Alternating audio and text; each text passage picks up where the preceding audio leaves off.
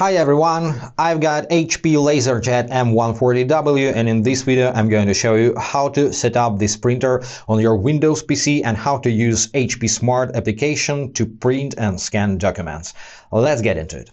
Make sure your printer's control panel looks like this. The Wi-Fi button is flashing, the power button is glowing and the warning indicators over here are off. Next, on your Windows PC, open Microsoft Store and install HP Smart application. By the way, it's available also for Mac computers, so the connection methods are pretty the same. So open this application, click on Yes on this window, accept all or decline optional data. Let HP Smart access your precise location. This is necessary, so click Yes. Uh, also, to use all features of these applications, you have to log into your HP account or create one if you don't have.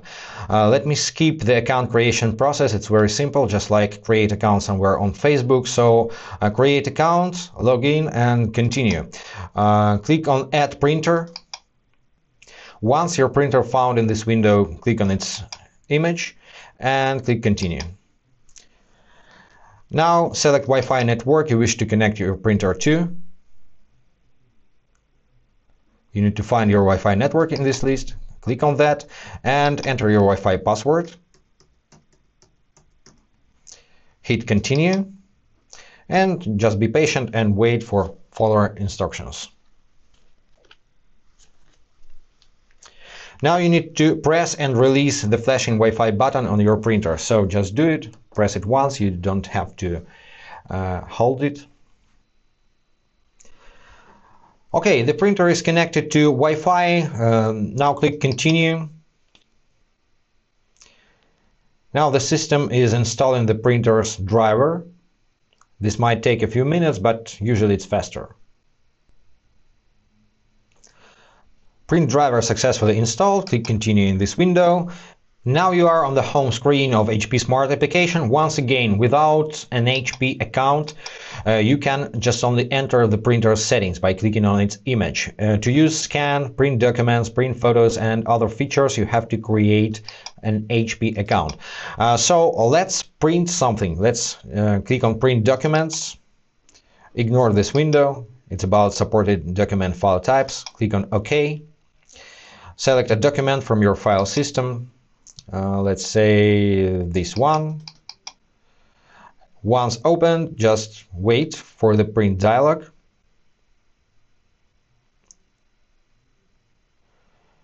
Now adjust your printing settings. Make sure that HP Smart Printing is selected in this drop-down. Select orientation, paper size, it's A4 in my case.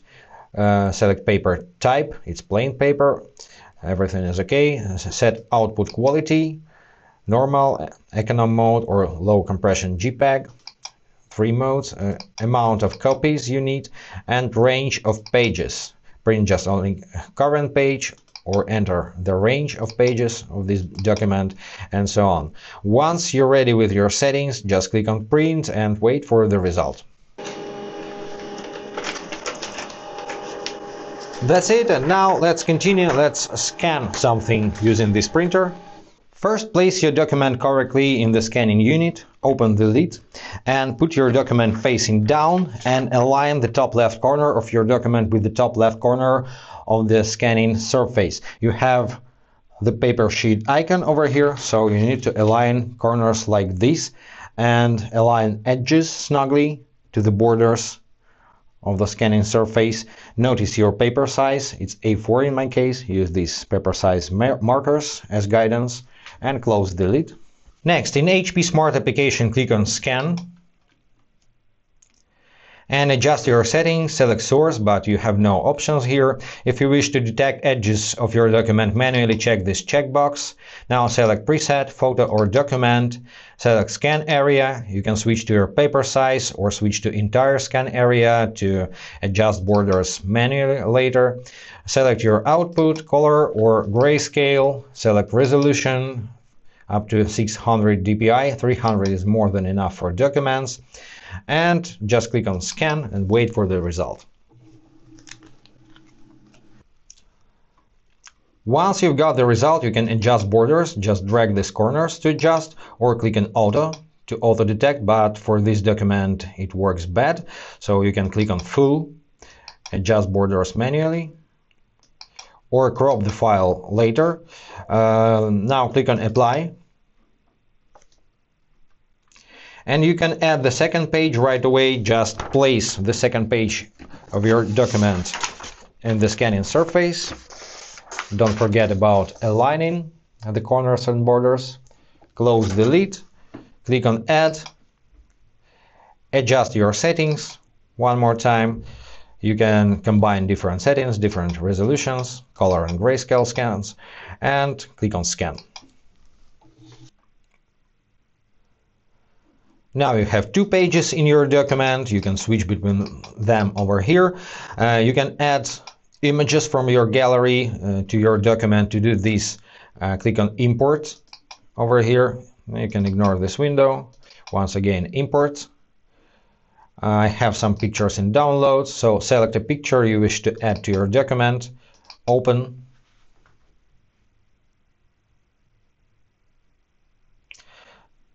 And now you need to detect edges, so click on full to capture the full image, click on apply. And this way you can scan as large documents as you need, add what you want, uh, after this, you can click on this icon, three dots, and replace, delete the page or edit it. When editing, you can crop the image to standard size like letter or A4 or uh, crop manually custom cropping like this just drag this corner. You can adjust brightness contrast colors and so on. Apply filters add text mark up your document and so on. Once you're done click on done to save your changes or cancel. If you don't like your changes confirm your action uh, also you can click on these four square icons and reorder the pages. Just drag and drop to reorder. Uh, you can rotate pages. Just click on rotate Select pages you wish to rotate and use these buttons at the bottom to rotate selected pages together like this. Uh, then hit done. And once you're done scanning you can print this document right away Share if uh, the sharing is set up on your computer. Use printing shortcuts and fax. For this example, let's just save the document. You need to select the file type. Select PDF for multi-page document or image if you want to save the document as few images. Let's save as PDF. You can rename the document. In this field, select compression or save without compression and just click on save select location, let it be in documents, it's okay, and save, your file has been saved, that's it. One more thing I recommend you to do is open your Windows settings, click on Start, go to Settings, and start typing printers and scanners.